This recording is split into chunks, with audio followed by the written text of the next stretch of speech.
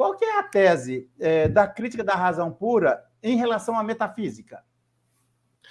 Então, aí é onde começa tudo, né? O Kant ele começa já nos seus prefácios e introduções do, a crítica da razão pura a, a, introduzir justamente esse problema. Por que, que a metafísica perdeu essa hegemonia? Por que, que qual, quais são os, é, qual é a natureza dos juízos metafísicos e por que, que eles adquirindo significado em geral. E o Kant, ele, para ele abordar essa questão, ele divide os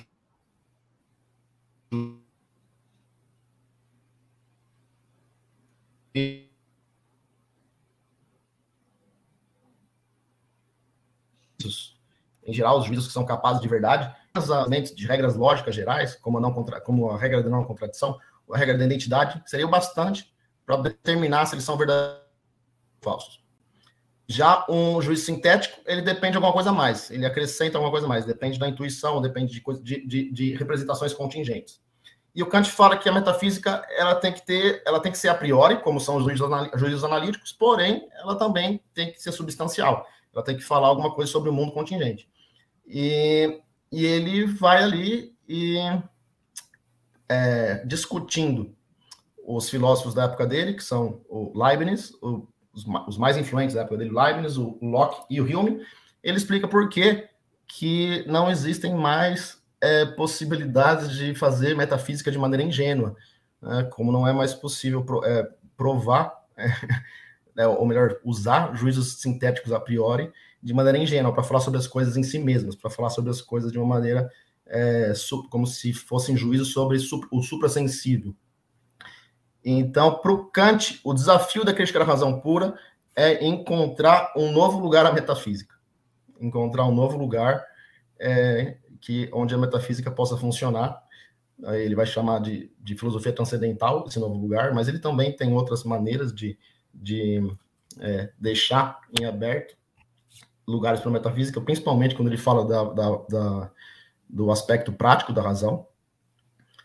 E então, eu acho que é isso por enquanto, para a gente introduzir. Legal. Eu vou explicar para o pessoal aí.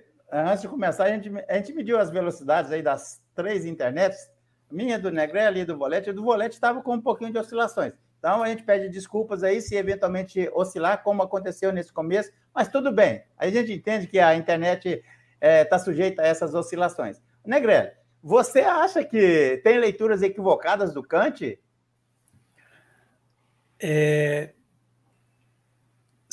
Sim, é o jeito mais sucinto de colocar.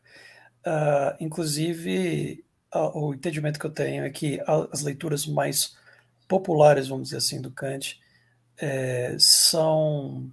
Uh, é complicado dizer incorreta né, uh, ou equivocado, mas porque o corpo, vamos dizer, a estrutura, ela de alguma forma geral ela permanece. Né?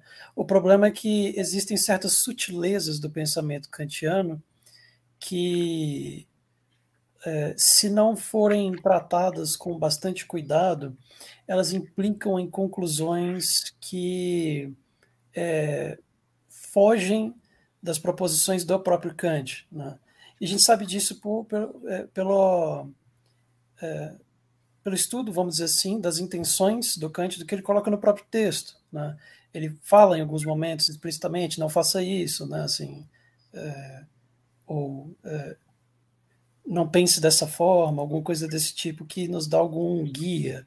Né? É muito comum a gente ver o Kant sendo usado como um, uh, uma, um fundamento para argumentos é, de ceticismo absoluto, né, nesse tipo de coisa, um ceticismo mais extremo do que um ceticismo cartesiano do cogito. E o próprio Kant está criticando né, e explicitamente falando na crítica à razão pura, aliás, a, a tempo, eu a minha leitura eu vou me é, assim, ficar né, conscrito aí a crítica da razão pura, tá? É, uhum. Que é onde eu tenho mais leitura, eu tenho conhecimento de alguns outros textos, mas é o, onde eu passei maior tempo da minha pesquisa. Então, essa, é, esse, esse tipo de ceticismo, por exemplo, né, o próprio Kant está falando explicitamente que é, ele vai contra. Né? O ponto a ser feito é que as, existem pessoas que partem dos argumentos kantianos para tentar embasar esse tipo de conclusão. É, bom, até aí, tudo bem no sentido de que a pessoa está partindo do Kant. Né? Mas existe uma problemática aí da tentativa de entender o Kant né, como um cético. E é, é, aí a gente entra nos problemas realmente de interpretação. Né? Uh, em particular, o, eu assisti a live do doutor Adriano Bueno, né, que lida especificamente com essa questão.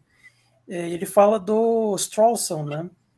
E é exatamente esse ponto, que a nossa, o nosso entendimento, por muito tempo, até onde eu entendo historicamente falando, né, a, a, leitura mais eh, dominante do Kant foi essa leitura straussiana. Né? Apesar de que eh, esses problemas que o Strawson meio que injeta no Kant, vamos falar assim, precedem o Strawson, e eu diria que já existem na época do próprio Kant.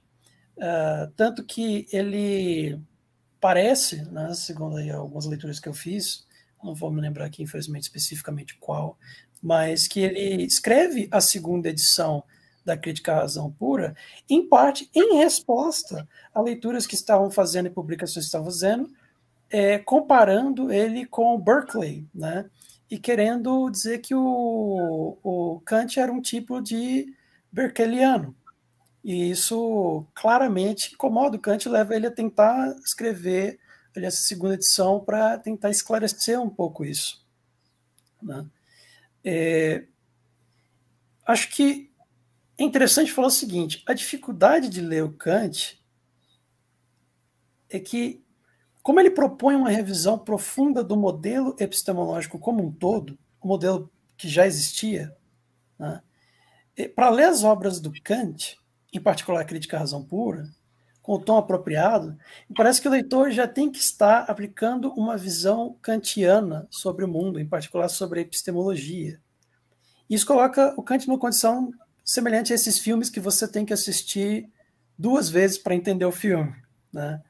É, a dificuldade não parece dissipar hoje, porque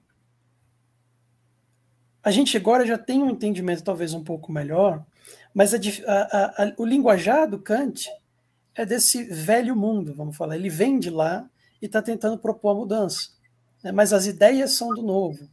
Então a gente tem essa distância de uma certa ergonomia do entendimento dessa teoria, né?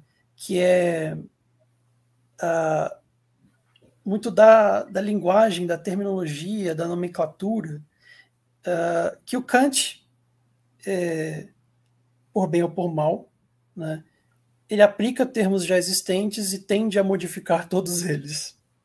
E retorno aí a palavra para você, então, Deodato, ver se de alguma forma se esclarece. Legal. Legal, né, Greg?